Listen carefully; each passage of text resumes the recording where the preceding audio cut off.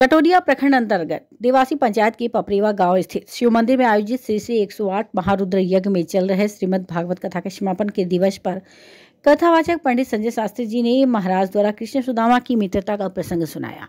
उन्होंने कहा कि कृष्ण सुदामा चरित्र समाज में अमीर और गरीब के रूप में पनपी, खाई को भरने का असली समाज शास्त्र है। कहा कि मित्र वही जो मित्र की बात समझ सके तथा हर सुख दुख में साथ दे। उन्होंने बताया कि सुदामा अपनी पत्नी के बार बार कहने पर अपने बाल से भगवान से कृष्ण से मिलने द्वारका जाते हैं।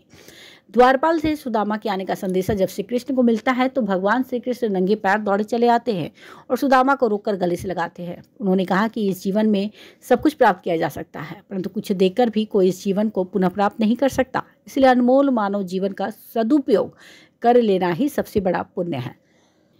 आयोजन को सफल बनाने में आयोजक डंडी बाबा बसंत यादव व माला देवी के अलावा शशि शेखर यादव, मनोज यादव, शिवनारायण यादव, परशुराम सिंह, नारद सिंह, मंटू यादव दिनेश यादव, दिलीप यादव, अविनाश सागर, गुंजन, सूरज, विनय, चंदन विकास, सिकंदर राउत, वासुदेव यादव, मुकेश दामोदर यादव, रंजीत यादव, अमीन आदि की सराहनीय भूमिका रही। भाका कटोरिया से मनी सिंह की रिपोर्ट। क्योंकि हम लोग अभी शंभुगंज से चलकर आए हैं। वहाँ के हमारे सलील जी हैं विपिन जी हैं। वहाँ के राष्ट्रीय अंतर के प्रखंड अध्यक्ष भी है, संजय जी है। वीरेंद्र जी है उमेश हमारे साथी हैं।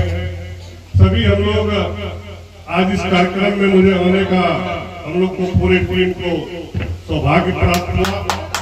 ये मेरे लिए बहुत खुशी का दिन है और आज महस्त प्राप्ति हम लोग सभी बाबा भोले के आराधना में लीन है।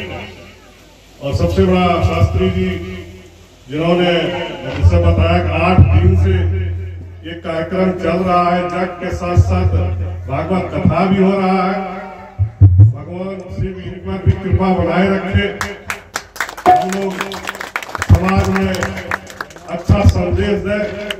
जहाँ पर भी है, जिस क्षेत्र में भी है, हम लोग उस क्षेत्र को जितना ज़्यादा से ज़्यादा लाभ मिल सके, जनता को जितना मदद कर सके, जनता का जितना विकास कर सके मुझे शक्ति दे कि जनता की विकास में जो भी कठिनाई हो, उसको दुधारू पूर्वक में लड़कर उसको दूर करूँ। यही बाबा भोले से मैं प्रार्थना करता हूँ, आशीर्वाद माँगता हूँ। पूरा